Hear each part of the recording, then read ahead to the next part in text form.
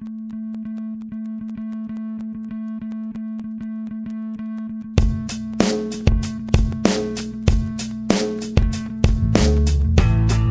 was always big left for teams.